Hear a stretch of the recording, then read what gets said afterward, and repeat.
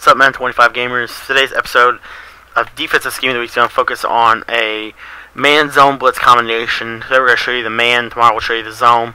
Or excuse me. Today we're going to show you the zone. Tomorrow we'll show you the man. Um, the play is Sam Blitz 2 from 4-3 under, and uh, excuse me. This play is going to be very good against um, compressed sets. We like to. We don't really call this play against.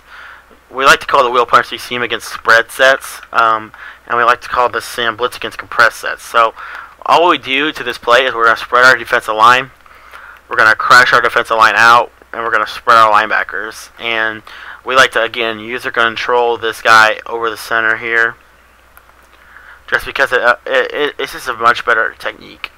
And you're going to get right edge heat. Okay, so pretty simple there.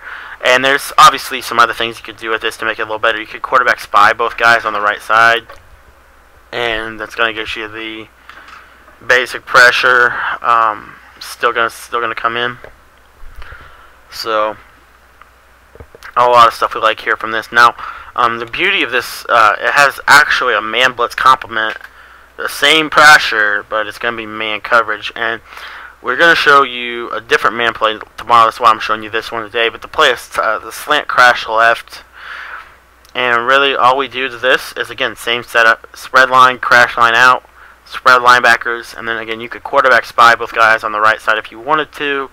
And then like I said, I like to use the A gap with the middle linebacker here. It's going to give you that right edge look again. So there you go, pressure right. Um, going to show you the zone look tomorrow, but uh, really like this play.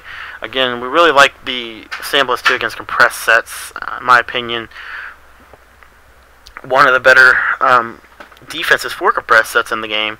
Uh, and, and, pretty good zone blitz look. And again, like I said, we like to use the will pressure scheme if they're not in a compressed set, but we still want to send zone pressure. Thank you for your time today. Hopefully this blitz can help you out in Madden 25. Be sure to come back tomorrow. We're going to break down uh, one of the better blitzes in the game uh, and some man blitz from this formation.